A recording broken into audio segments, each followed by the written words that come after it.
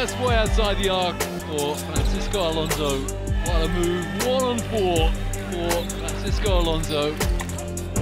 Make it 12. Another three for Spain. Another timeout for Latvia.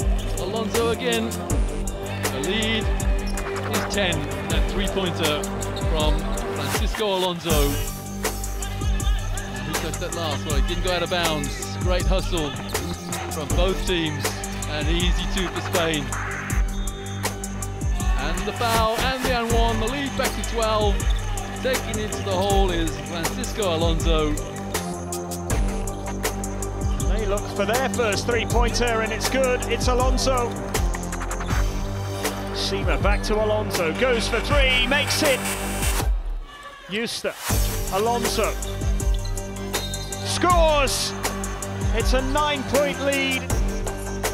Alonso takes a long two, knocks it down. Oh, what a feed!